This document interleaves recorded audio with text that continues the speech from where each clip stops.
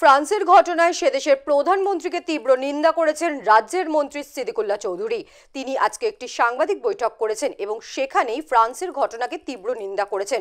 সেখানে ফ্রান্সে হজরত মোহাম্মদের একটি ব্যঙ্গ কার্টুন চিত্র দেখার পরে সেই দেশের এক মুসলমান তরুণকে শিরোচ্ছেদ করা হয়েছিল তারপরেই মুসলমানদের প্রতি এই হেন ঘটনার প্রতিবাদ জানিয়েছেন সিদ্দিকুল্লাহ চৌধুরী পাশাপাশি স্বরাষ্ট্রমন্ত্রী অমিত শাহকে কটাক্ষ করে তিনি আজকের সাংবাদিক বৈঠকে কি কি বলেছেন শুনবো पेट्रोल साहब भी कहने कहते हैं कि हमारा हमारा इच्छा नहीं था और आपकी इच्छा नहीं था आप इतना दिमाग का कमजोर आदमी है बैठ करके ये बात उड़ाते हैं इस्लाम के खिलाफ वन फोर्थ तकरीबन मुसलमान दुनिया में है।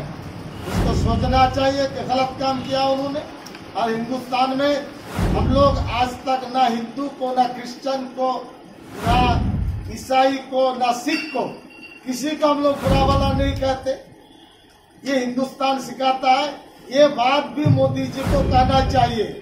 अमित शाह जी एसेसन তিনি নাকি পশ্চিমবঙ্গে, বাংলায় বলছেন, মুখ্যমন্ত্রী আমাদের প্রিয় নেত্রী মমতা ব্যানার্জির নাকি তার সরকারের শেষ জামানা চলছে, নানানভাবে কটূক্তি করছেন, বাঁকুড়া গিয়ে বলছেন, গরিবদের নিয়ে চলবো।